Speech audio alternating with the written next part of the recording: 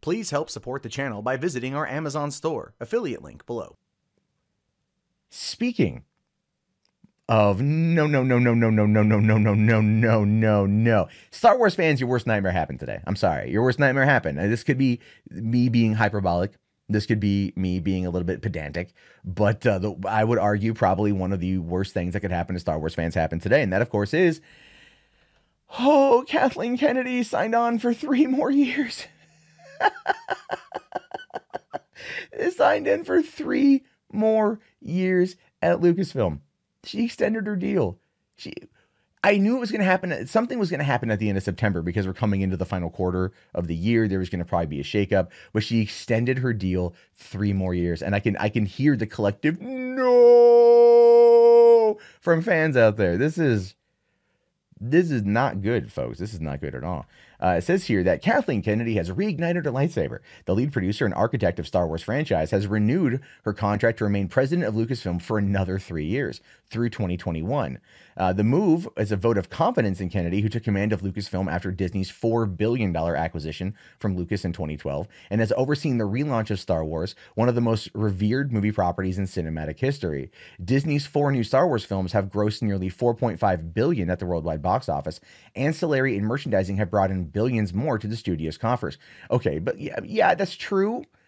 Um, but as we've learned, toy sales and merch sales are down across the board uh, Hasbro has come out, or Mattel, one of the two came out basically said, like, yeah, with the Last Jedi toys, they didn't sell very well. When Toys R Us was closing down, you could find tons of The Force Awakens and tons of Last Jedi and Rogue One toys still available, and merch sales are down. I mean, it's just, you know, they're trying to. This is such this this Hollywood Reporter article uh, by Alberto E. Rodriguez. Oh no, that's the guy took a picture, not the guy who wrote the article. Um, he, you, you, whoever wrote this article at this point is basically just like it's they're just they're just completely jizzing all all over it. Like, oh my god, oh my god, oh, oh my god. No, it's what? Come on, man. Come on. It's solo crashed and burned, and it wasn't its own fault. The movie was good. It was The Last Jedi. Anyway, uh, but it always hasn't been easy money. Kennedy has had to replace directors on two Star Wars movies that were either in production or post. Uh, Chris Lord and Phil Miller were fired from Solo uh, less than a year before the film's release. Kennedy also effectively replaced Rogue One Star Wars story director Gareth uh, Edwards with helmer Tony Gilroy, though Edwards kept his directing credit. And last year, Colin Trevorrow, Trevor Trevorrow, I keep I guess mispronouncing that, uh, who was to have directed uh, Star Wars Episode Nine, was fired and replaced with the series producer uh, and episode seven helmer J.J. Abrams a week later.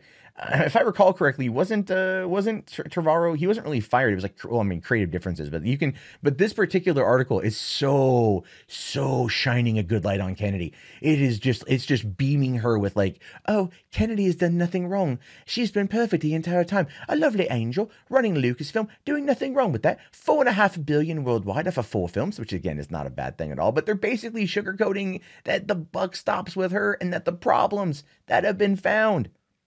Not even a mention of The Last Jedi, not even a mention of the fan backlash of the, of, of the Last Jedi, not even a mention of, of Solo crashing and burning, not a mention of any of that, because they are trying to whitewash her crimes. They are. They're trying to whitewash her damn crimes. Now, Kennedy's position is one of the most visible, her actions the most scrutinized. Okay, well, I guess maybe now they're covering it. Hollywood, um, in Hollywood, due to immense popularity of Lucasfilm's franchises, which also includes Indiana Jones. So it's notable that a renewal follows this summer Solo, a Star Wars story, the first big screen box office disappointment for the franchise, grossing only $392 million. Uh, with leading analysts to estimate a loss of the film at 50 million to 80 million or more. Uh, in contrast, uh, The Last Jedi, which grossed 1 billion. Uh, Kennedy's deal also follows uh, a polarizing reaction to the Last Jedi. Again, I, I, don't understand. I don't. I don't. I don't get it. I mean, well, okay. Um, they're going to cover this whole thing here with the Rotten Tomatoes. I don't really want to talk about that one, but real quick, so there's, there's another another thing in here I want to cover. But the thing is, the thing with the Last Jedi that, that the, the the fandom menace and, and critics of the film have to realize is that and Black Panther are the number one and two selling movies of the year, and right now the Last Jedi is actually the number one selling film of the year. Uh, so it sold a lot on home video. It grossed 1.3 billion dollars worldwide. That is not a small number.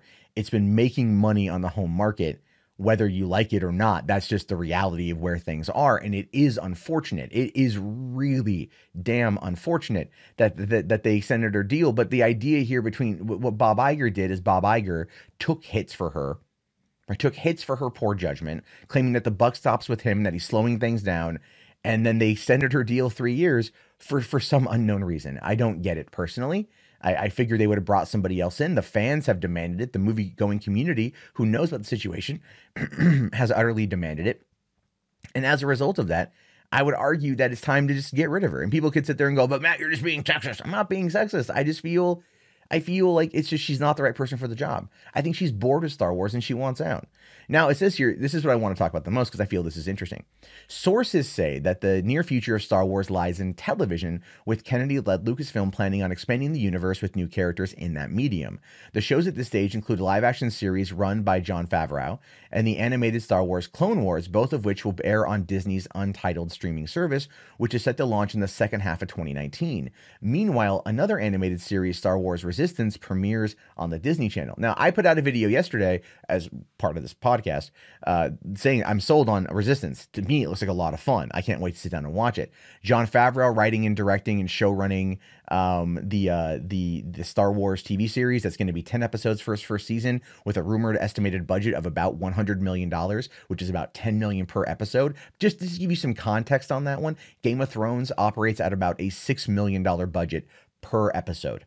So and and yeah, I'm just saying they're really they're really throwing it in there. And Clone Wars is going to be a good way to continue uh, finishing the story. Uh, fans are going to really like that. And I think TV is really going to be where it's at. Telling these stories, building up these characters, and creating these narratives that can then find a way into the larger film universe. If they have the chance right now, and this is true, they have the chance right now to do what I kind of commented on a while back, which was to create a Star Wars cinematic universe and have it entail not only the books, which is technically part of the canon, which I still intend on doing that channel where I talk about those, um, but also having it being where you've got uh, the the storyline taking place in the TV show, and then the movies also are going to tie into that, very similar to Marvel with Agents of Shield and even uh, Agent Carter, and in some respects the, the the Marvel Netflix series and Hulu and uh, and Cloak and Dagger, which I haven't seen yet. Um, but the point I'm trying to get to here with that essentially is that they have the opportunity to really expand out this franchise in a way that is going to be interesting, that is going to be fascinating, that is going to be fun, and I feel like that is going to probably be the best course of action for Star Wars. That or they create, and this is what I would love to see personally, um, is the DB Weiss and David Benioff that are crafting a, a series of films. Um, you know, we're talking not a trilogy, but a series. I would estimate five. That's my guess. And they're going to create an arc. And I think that arc is going to be played out in the, the in the theaters with this movies and also continued on the small screen. It's a perfect way to blend the two together and then to still have ancillary stories or other parts of the canon told from the books and the comics, therefore creating that massive multimedia event that they want to have. And if they're going back and they're kind of resetting the clock after episode nine and moving forward in that particular fashion, that could actually be a good thing. Now, I know Resistance goes back and it takes place during uh, the, the, the, the years or whatever leading into The Force Awakens to give us more backstory on the First Order and Poe Dameron and, and hopefully uh, Captain Phasma is going to get a lot more backstory um, that will then uh, really kind of elevate her character a bit because she was wasted in the two movies. Um, but uh, and then whatever Favreau's doing takes place about eight years after the events of the uh, of Return of the Jedi. So there's going to be stuff there to play with. But I mean, for where they're going to go next, they have they have a blank slate after Episode Nine, essentially, to get away from the Skywalker saga, to get away from all this stuff. And I think ultimately they're going to do that. And I think they're going to do that. Uh, and they should do that by by blending the two together, the theater and the and the TV. Uh, and if Kennedy can can can be a good business person and and and learn from her mistakes and get the right people in there, then this deal will have worked. But ultimately, Bob Iger took the hits for her, and then they extended out her deal as to, I think not be deemed as sexist. To be honest with you, look, that could get me in some trouble. People might say that, but in the Me Too era and her actually being a, a, a part of the Times Up movement, like on the board of the Times Up movement, it feels like the extension comes more like a like kind of like a, a, a deal to be made versus the right move for the company. But maybe, maybe I'm wrong. Maybe I'm wrong, and that's not the case at all. And I hope that I'm wrong. I do hope that I'm wrong. But again, given everything else we know, I just kind of feel like, mm, I don't know. I, I, I just, I want Star Wars to be great again. I don't think Kennedy's the right choice, but we'll have to wait and see. And if, if it lies in television, then let's go do it. Let's let's do it and let's make it right. Hey, thanks for checking out this clip from Three Buck Theater. If you want to get the full audio version of the episode, you can find it anywhere podcasts are found. If you want to watch the video version of it, head on over to patreon.com forward slash mundane Matt and take a look at our Three Buck Theater perk, which gets you access to the full show that airs Monday through Friday. It's a video version of it. You get to look at this face, talk about movies and, and everything else on screen. Uh, it's great stuff. It helps out, and I really appreciate the support. Remember to please like, comment, and subscribe, and I'll see you guys later.